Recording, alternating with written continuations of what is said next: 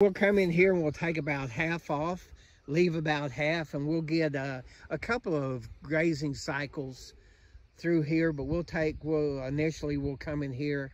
We got 17 or 18 inches of growth now. We'll probably take half of it off, uh, pull the cattle off. We've got a another cool season pasture of ryegrass across the road. So until the uh, warm season begins to kick in, we'll rotate back and forth between the oats and the ryegrass. But our plan to, uh, initially is to take half of our uh, uh, biomass off of here.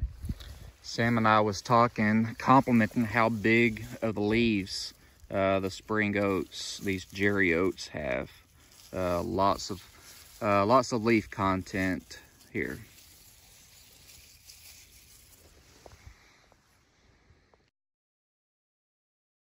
The first sequence of grazing occurred between April 24th to April 29th. Approximately 250 head was on 70 acres for about six days. So you remembered from last video uh, the height that the oats were at. Um, Sam uh, has has grazed the oats down to probably an average of 13 inches or so. Uh, some places are shorter than others, such as this. Uh, this is grazed down to 11, 10 inches.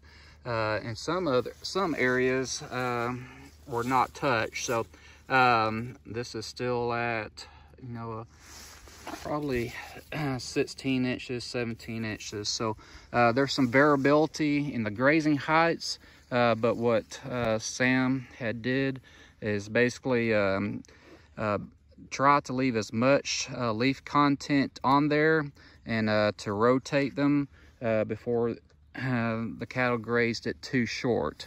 So walk around here and show you some more.